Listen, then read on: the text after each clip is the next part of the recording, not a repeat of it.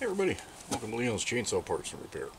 Before we jump to the good stuff, I wanted to do a review or a better video. I don't think I've ever done a great video uh, of the winch setup that I have for this uh, truck. And, you know, I used it on the last truck, and that's the beauty of it, is it's interchangeable. So, we'll go through what it is, uh, how I've kind of put it together to make it work for this pickup, some of the advantages and some of the disadvantages. But first off, I'll get this cover off. Now, this is completely custom. There's a company, it's Coverall, something like that. I know that sounds cheesy, but they actually, I took measurements, put it on the website. They drew up a very basic, not CAD drawing, but you know, uh, whatever software they use, basic drawing showed grommet locations, sent it to me for approval. I made a few adjustments. They did that, sent it back. I didn't spend more than 50 bucks on this. I've had it for about four years. There's some damage here, and that is one of the disadvantages. That's from going through the creek, which is slowly getting pounded down. So my approach angle is pretty crummy when this big old hog is sitting out front. I've done a few things to try and mitigate that. But anyway, that's why there's some holes in the cover. But in reality, it's here to keep road spray and UV light off. Keep the water off, keep the UV light off. Make this stuff last as long as possible. So, and the beauty of it is it's secured with some very cheap, well, nothing's very cheap anymore, but cheap in relative price and quality. Bungee cords. I've messed around with the cinch straps or the, the cinch ring around here and decided that was just useless. Didn't do anything for me. So having the grommets in the right spot, I even bought a grommet kit and punched a few extras so that I'd have them in the right spot. Makes it easy. So we've got the Badland ZXR 12000 from Harbor Freight. This is the one that goes on sale for about 300 bucks fairly regularly. You can spend twice that much and get their next, what is that? Apex, I think. It has the synthetic wire. And it's a different design on the motor shape and all of that. Whether there's that big of a difference, I don't know. I do know I'm getting to the point where there's a fray in the wire right down here, just right out towards the end, and I'm not going to go a hell of a lot longer without replacing this. Now I've gotten at least six years of good, good work out of it, uh, and I'm going to go with that synthetic uh, rope, wire, whatever you want to call it. Uh, it'll be a hell of a lot easier to manage, to spool, lighter to take out, and because I cover it, it's going to be UV protected. They come with a sleeve that covers, I think, the first foot. Well, all I need to cover is the first four inches. Go. Anyway, 12,000 pounds. I bought the carrier itself. I don't think I popped for the Warn because, of course, their prices are crazy, but it's very, it's, it's their design. The rest of this is custom.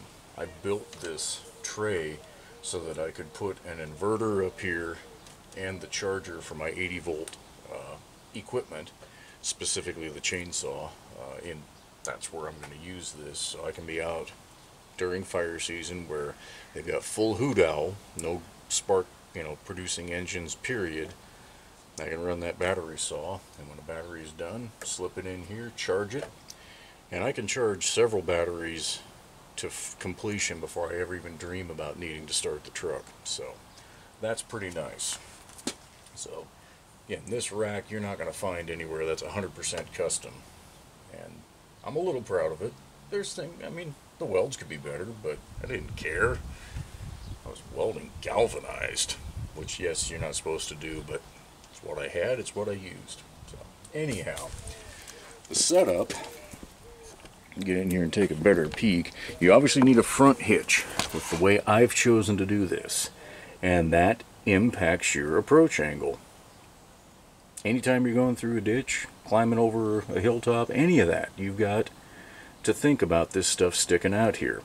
So I said I've tried to mitigate some of that. Obviously I didn't want the winch way down here, so that's why I bought this big chunk of pig iron, and that is actually rated for 10,000 pounds. The extra 2,000 that the winch is rated for, whoop-de-doo. It is not. That is solid shank there, thick, thick tubing. And you can see that nice gusset back there. This isn't going anywhere. That doesn't flex when I'm pulling.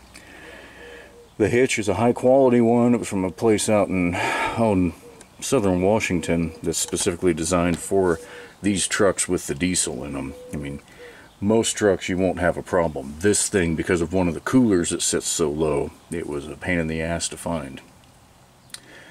So, that's how it's set up, and then the winch goes in right here. Pretty straightforward. Wiring, I want to say, was 4.0 not 4 gauge, 4.0. I mean, you're almost up to arc welding leads at that point because I wanted the winch motor to get hot. Well, the motor's on the other side, but you get my point. I want it to get hot before that wire gets hot. I do not want to melt wires. That's bad, very bad. So, ideally this is easily removable, and it is. I'm using a industrial style charge connector right there. We have those on the electric forklifts at work. Okay, that's the same thing. So when I'm ready to unplug this, I tuck that wire back up, snap it into place up behind the air dam here, and then all you see is that, that hitch hanging down. Now I run this, you know, about half a year or more with it on here just because why not. So it works. Actually works pretty damn well. Uh, so the positives. We'll go through that real quick before I show you under the hood how this is set up. The positives are it's removable. Okay. You pull that pin, you can slide the whole thing out. A negative, heavy. This upper piece with the carrier is north of 100 pounds, well north, I want to say about 115 you add that big chunk of pig iron and this whole assembly is getting close to 135 140 pounds so yeah that's heavy. The plus is with this setup you can actually separate these into two assemblies. I'm a stubborn shit and I don't. I just basically straddle it and you know suspend it from my arm so that I'm not actually lifting anything but it's heavy. It's definitely heavy.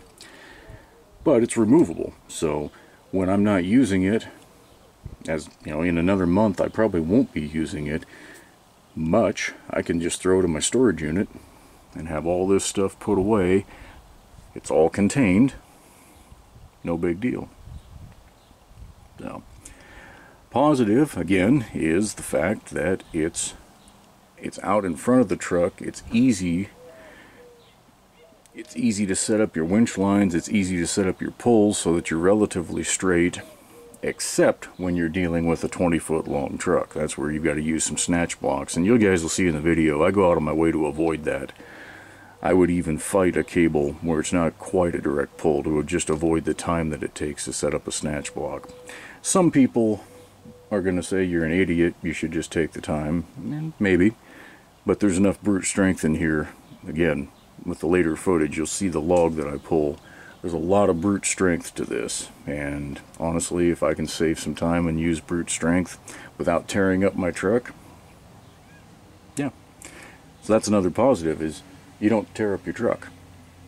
You know, you're not, most of the time, there's one scene where you'll see me give it a little tug with a pickup to break it through a, a rough spot.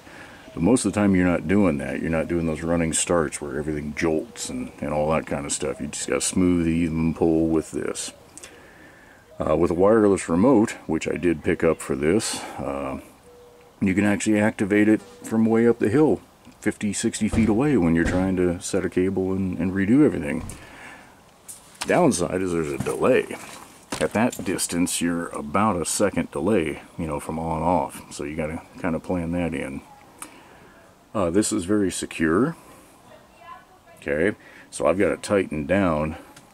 Yes, if somebody really wants to try and steal it, what they're going to have to do is pull the cover off, release the tension on it, and then figure out how to deal with those bolts. or uh, hitch locks, because that's what those are. Those are locks. In that amount of time, since I park it out there, and my bedroom's right around that corner, the amount of time it takes them to figure out how to do that, I'm going to wake up, I'm going to hear it, and they're going to be uh, facing somebody who's not real happy and armed. So, there's that. No big deal. Alright. So the wiring is run between the radiator, the core support, and this fender support just down and out. Okay. The real meat and potatoes is up here. And what I did was to try and keep it as clean as I could under the hood so that, whoop, uh, doesn't help to be on a tripod right now. So that if I ever have to have this worked on in a shop, they're not going to chew me out for it and it's not going to be in their way. So, got these leads. I had to build that the bracket for the circuit breaker. This is not the circuit breaker that comes with the winch. This is a replacement one. This is a marine grade. And if I'm not going to be using it for a while, that's how I'll travel. Okay, it's protected. If I, you know, cut a cable up there and short something out and this is on, it's going to trip. But if I'm, you know, traveling, if I've got this for some reason and I don't want it to be a, a tempting thing to play with, just trip that. But most of the time I keep it on. So that was the only thing I had to build was just, and all that is is a piece of sheet aluminum. I put the uh, negative terminal to the actual uh, jump starting ground lug that was already here. So that was super simple. And then I routed the positive cable down underneath the battery box here, where this lid comes off. Oh, not well with one hand. But I just went straight to an existing lug right there. Super simple. Sorry you guys are wobbling around. I wish I'd noticed that sooner. So I had to file out, where was it? Or did I? Yes, I did. I had to file out that one spot in the, the lid to the battery box just to accommodate the bend in the cable there. But otherwise, you don't even know this is here. So, yeah, the later model your truck is, the more of a pain in the ass it's going to be like, like this, where you've got the lid and the little, you know, electronic control center. This does not have dual batteries because it's a half ton. Doesn't need them. Therefore, when I'm pulling, I run the engine. Now, modern diesels, of course, we all know have a lot of emissions controls on them, and it's pretty widely understood that idling is not great for them. Uh, what I will say is I try to abide by that, but I did this past week about three hours of idle time uh, as I was pulling logs, and the uh, it only gained several percent on the soot count soot load. I use the banks to monitor that. So while I know it's not great for it, and I know that uh, the EGR was pumping good stuff, good in quotes, back into the engine the whole time I was doing that, but the single battery and the ability for this to draw in excess of 200 amps, in theory it's going to trip that at 200, but you get my point. You don't want to be up on the hill and all of a sudden, whoopsie daisy, I can't start my truck. So it just runs when I'm pulling. So that's about it. That was probably a little longer than I expected uh, to do this, but in reality, any truck you have that has a little bit of ground clearance, if you can get a front hitch, you can put together something like this that's easily removed. And I've always had the fantasy of running some heavy wire all the way to the back so that I could, you know, do a backwards pull too, but wire got expensive and I got lazy, so it hasn't happened. So the last thing I'll note, because it just came to mind, is when I go to the synthetic rope, you've got to change the fair lead out. Uh, you won't have rollers anymore. It's just an aluminum block that, uh, you know, is smooth. You can see the cable from sideways pulls has just marred this up. That would shred one of those synthetic ropes in a heartbeat. You just completely screw yourself. So I will have to pick that up as well. But the plus there, another plus beyond the strength and the ease of handling, is it's 15 feet longer on the same drum. So anyway, it's enough of me jabbering. I'll uh, cut to some footage of this thing in action.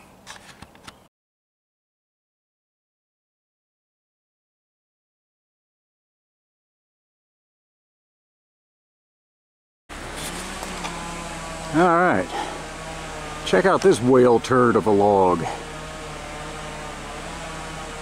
There's 50 feet of cable down to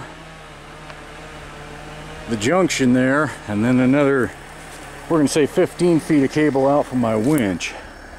I'm gonna say there's somewhere around 50 feet of log there and somewhere around 20 inches at the base. Best guess. I've already brought in, brought it about 40 feet down the hill. Let's see how the other 40 feet goes.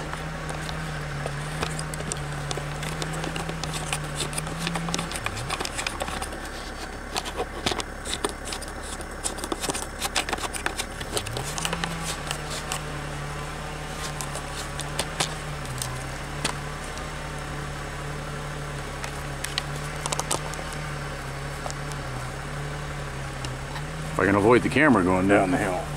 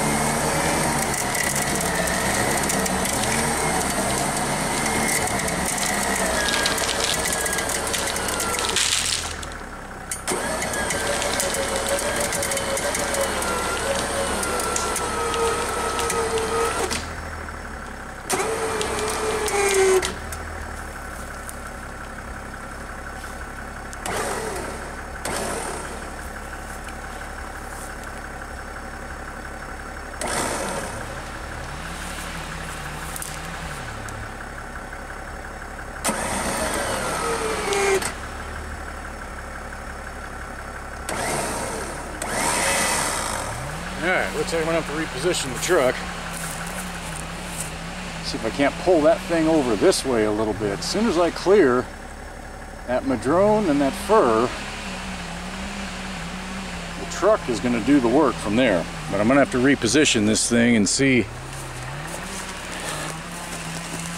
see if I can get the right angle on the dangle, as they say. I need the truck to be about, ah, probably 10 feet over this way. We'll see how that goes.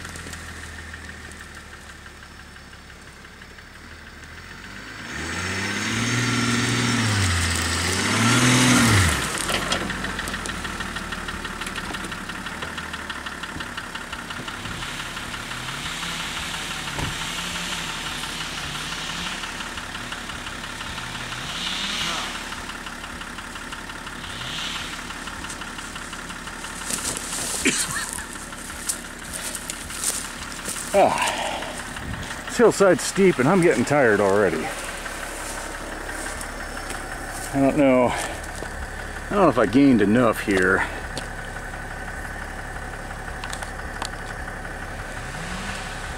I think I'm gonna have to take the uh,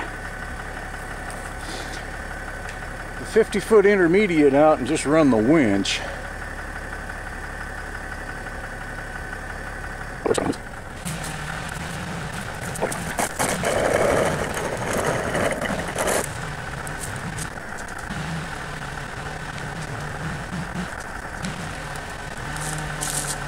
Pulling this madrone in there that's hung up.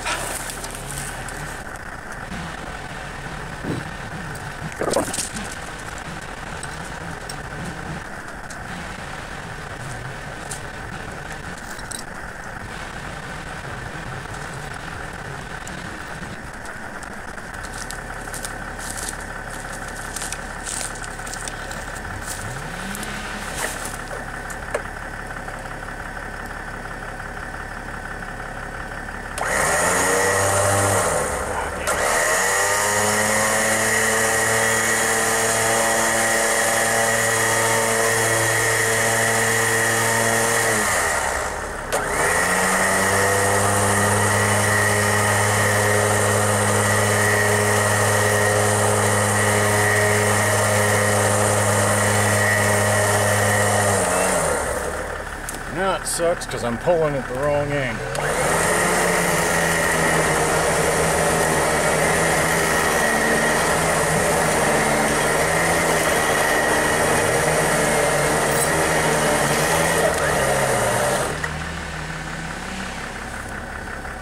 And now it's going to go on the wrong side of that little fir. Boy, I'm having fun. Are you?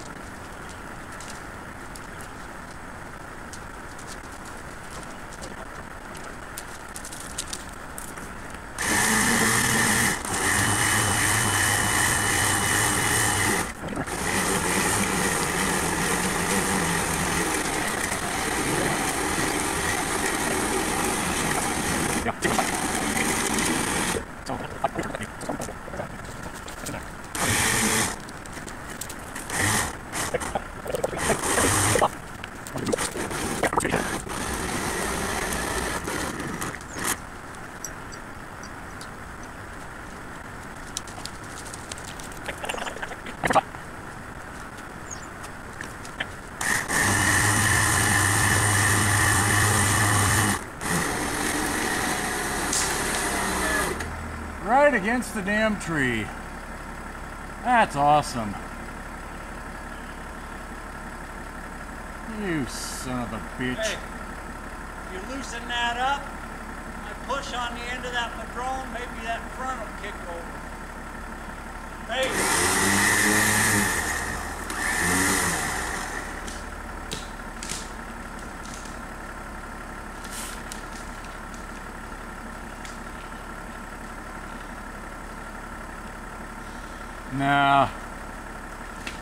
damn it. This hillside is such a pain in the ass. I loosen that cable and put a wedge cut. Just leave this long and this 45. Yeah, we could do that. Hopefully it won't bark that fir up uh, too bad.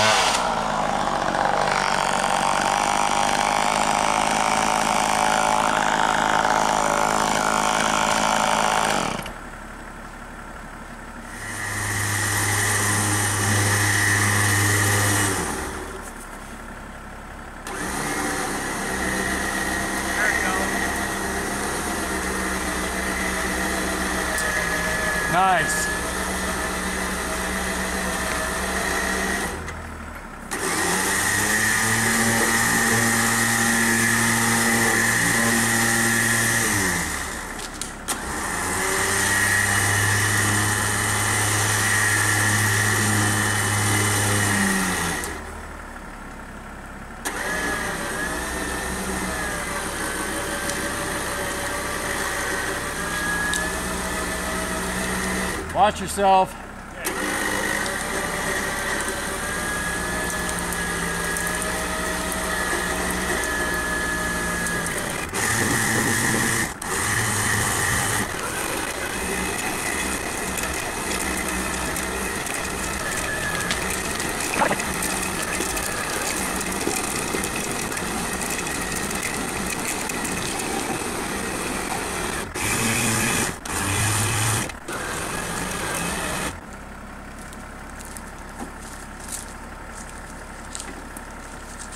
I'm going to try and use the truck to jerk it past the tree and just keep on going. You want to reposition your camera? Oh. to record this ridiculousness? Yeah. That's probably not a bad idea.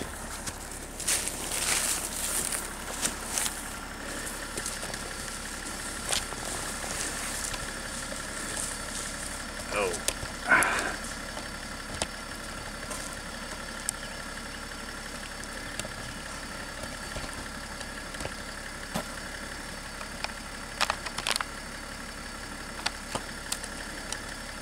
Come on, baby.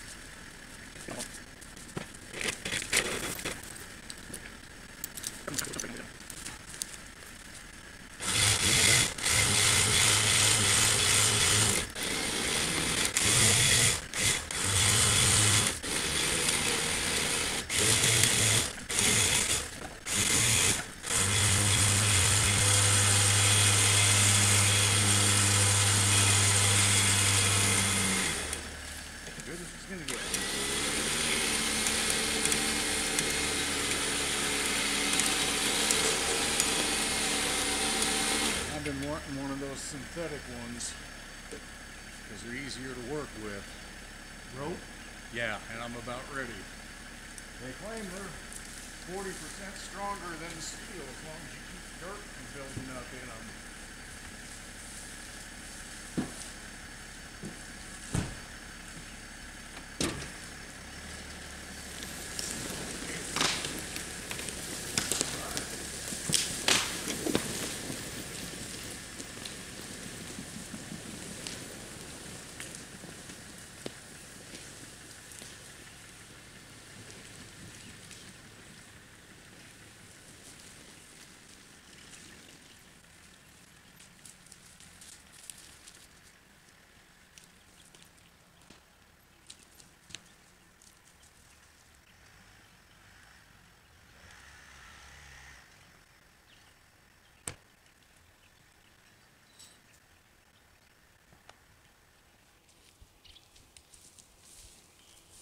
Ran over the stake, but not the tree. There we go. Perfect. That's funny. I knew I was getting close, but once that big thing started to move, I'm like, I ain't stopping.